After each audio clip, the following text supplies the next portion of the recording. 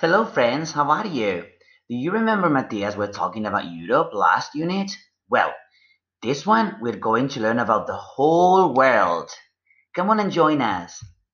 She's right, students. We are going to learn about the rest of the continents, Asia, America, Africa, and finally Oceania. Asia.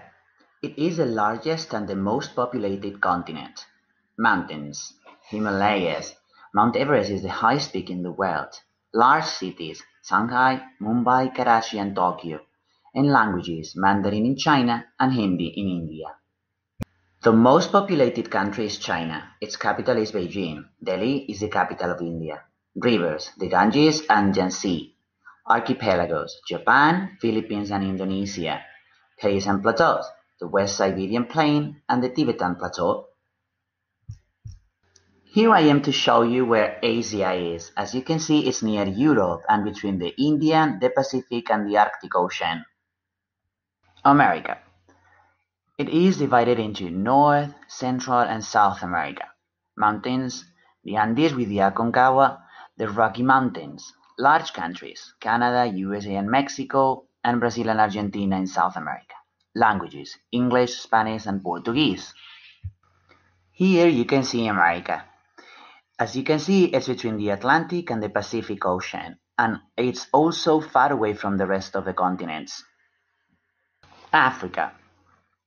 It has a high population but a few large cities.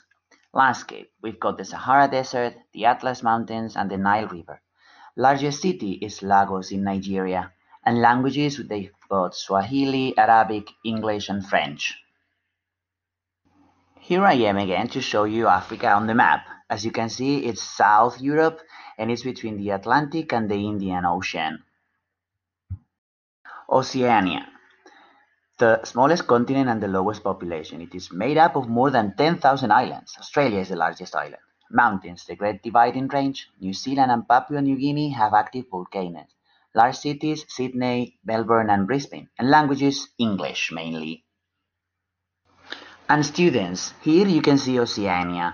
Even though you see Australia, it's the continent Oceania, okay? And it's between the Indian and the Pacific Ocean. And this is the end of the lesson, students. Bye bye.